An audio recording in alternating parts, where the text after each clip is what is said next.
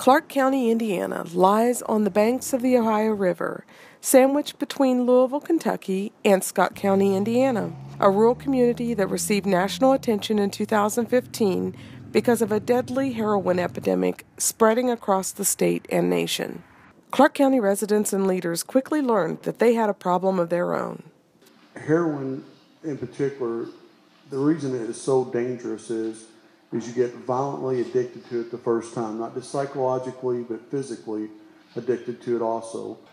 In January 2016, Clark County Cares, which stands for Community Addiction Resources, Education, and Support, brought together a panel of concerned citizens and community leaders to begin a conversation and break down the stigma of heroin addiction. This is an epidemic, it is having devastating consequences in our community and communities around here these drugs are very dangerous because they're street drugs. Uh, there's no consistency and potency, quality of the product. So there is a disturbing trend in overdose deaths, uh, suggesting the problem is getting worse.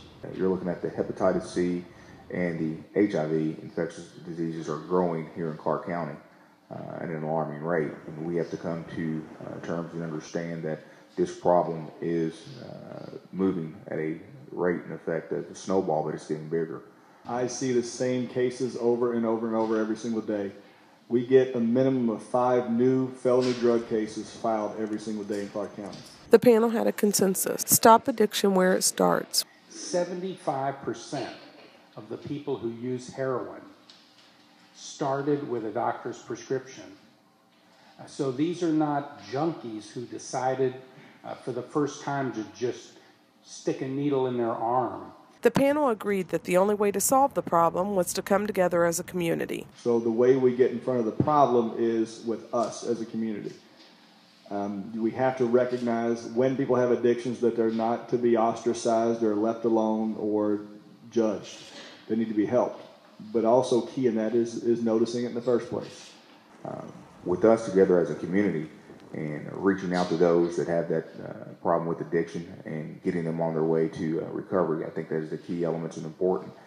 I see it from the, the aspect of policing. I see it from the aspect of housing people in the Clark County Jail, and I and I I just love the fact that we're all coming together as a community because this it's a community effort to fix this problem. Because you look at the wide range of people that are here tonight, from the judge to myself to the chief to the attorney general to uh, members of the church, the community leaders that are here, we realize how big of a problem this is. And the only way we're going to solve it is solving it together and talking about it and explore all options.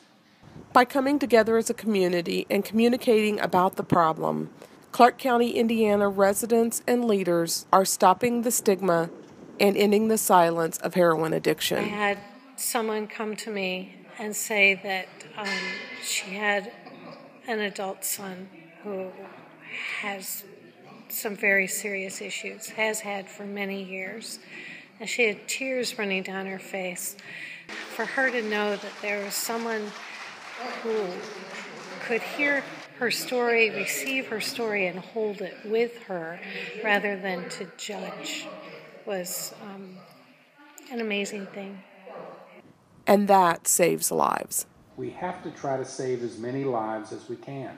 You can't affect a cure, you can't have a recovery if they die of an overdose. I'm Linda Margison for Ordinary Hoosiers.